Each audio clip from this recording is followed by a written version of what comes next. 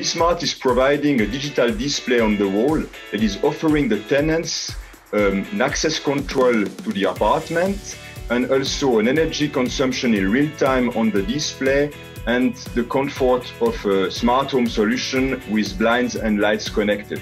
Everything is available on a smartphone app that you can download on the App Store or Google Play Store and makes lives easier.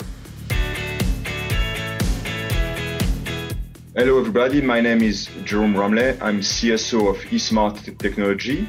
The, the main problem we are solving in the real estate industry is providing an efficient tool uh, for the real estate manager that is able to monitor and build the energy of the, of the buildings and also uh, providing a communication flows between him and the tenants. What we're offering to the clients is a touchscreen on the, on the wall that is providing an access control so uh, clients are able to be informed about the, the manner, how they behave and how they consume energy first.